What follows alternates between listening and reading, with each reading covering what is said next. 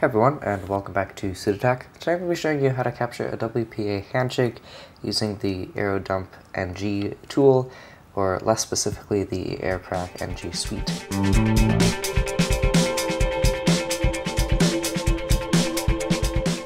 Currently I'm using my laptop which is already set up to do this. I'm in root mode, which you should be unless you want to type sudo for all the commands. I've also put my wireless card into monitor mode, um, which I've outlined how to do basically in another video, which will have up in a card and also linked down in the description.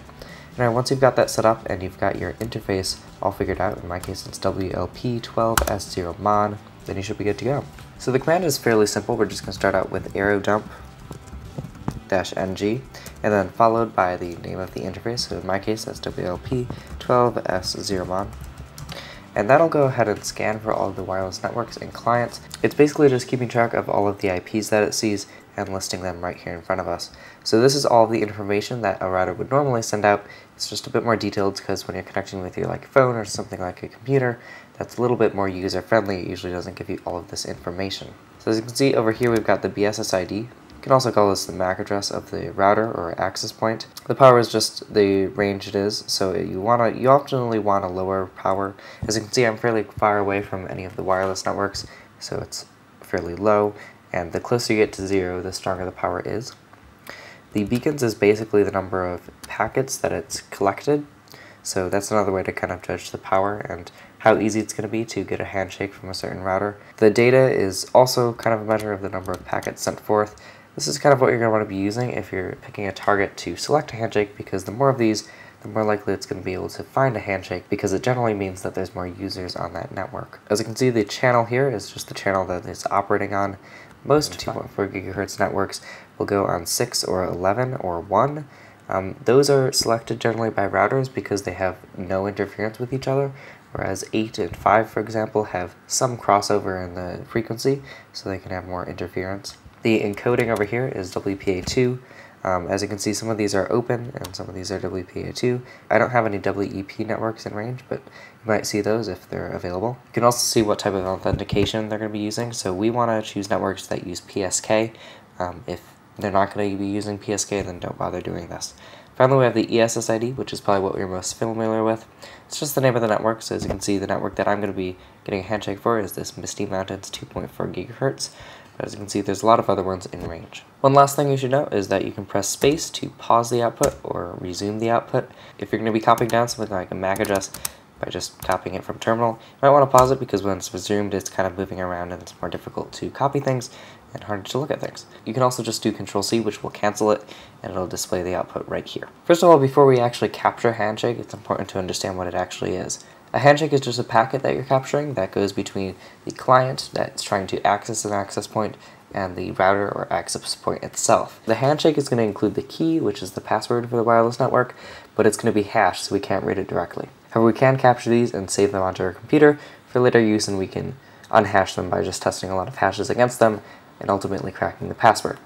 Now with that said, it's important to note that you shouldn't really be doing this on any other people's networks. Depending on your area, it might be illegal or it may not be illegal, Regardless of the rules in your area, just keep in mind that it is someone's personal property and you shouldn't be tampering with it, so just make sure to do this on your own network. To capture a handshake and save it, it's fairly simple. We're just going to do airdump-ng and then the monitor, and then we're going to use the flag W to indicate what file we're going to write to. If you run this command multiple times with the same name, it'll just add a number to the end so that you don't get mixed up. Um, but we're going to do test just for example, it can really be anything. Press enter, and it'll start doing the same thing, but this time it'll capture any handshakes. Now, hopefully under optimal circumstances, we'd get a handshake, and up by the date and the time elapsed and things like that, you should see it say that it'll say WPA handshake captured. I'm going to try to connect my phone to the network that I'm currently trying to capture a handshake for, and it might work or it may not, we're going to see. Okay, so I just connected my phone to the network, which is Misty Mountains 2.4 gigahertz, and as you can see we did not get a handshake. And that's because if you see in the top left corner, we're actually switching channels and we're seeing a whole bunch of different networks. Now, in some cases this will work if it matches up the timing correctly, but a lot of the time your wireless card isn't be looking on the correct network, the correct channel, to find it properly.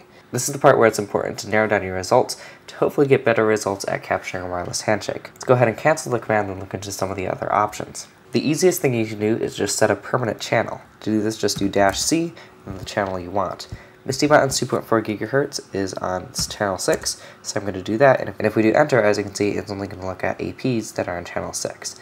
Now this one up here is an exception, it's negative 1, these are hidden networks that we don't know anything about them besides their BSSID. There are ways to look at this information, but we're not going to be getting into that in this video. So now I've got higher chances of actually capturing a handshake that's sent over a certain network, but we're going to make it a little bit simpler just to keep track of everything by isolating a single access point. Now you can check all of the options at arrowdump-ng and just do it with nothing and it'll give you the help page or you can do man arrowdump ng whichever you prefer.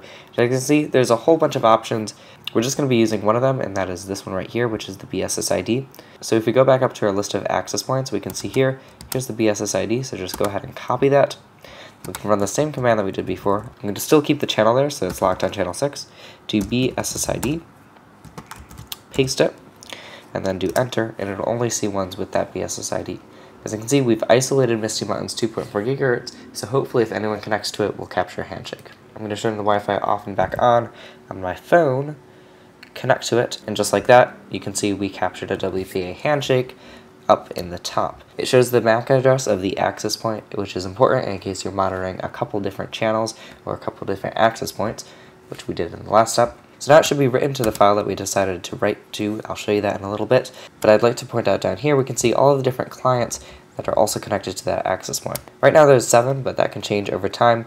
And a couple of them have a little bit more information than others, but that's not really important. We're going to be using this in the next step to try to force a client off of an access point and get it to automatically reconnect, to therefore give us a handshake. So if we cancel the command and then do dir, as you can see the last one, which is test3, we've got here, the file with the handshake is the .cat file, and as you can see, we've got our previous tests, which show up anyway, but the only one with the handshake is the test-03.cap. Now, if you're having issues capturing a WPA handshake and you don't have a device that's able to connect to a network, you may want to try to deauthenticate a device that's currently on the network. I'm going to go back into the arrow dump. Instead of calling it test, I'm going to call it D, because we're going to deauthenticate a user of the network.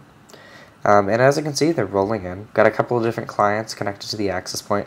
We're going to first be setting out a general kind of standard deauthentication packet, which is just going to try to boot everyone off the network no matter what.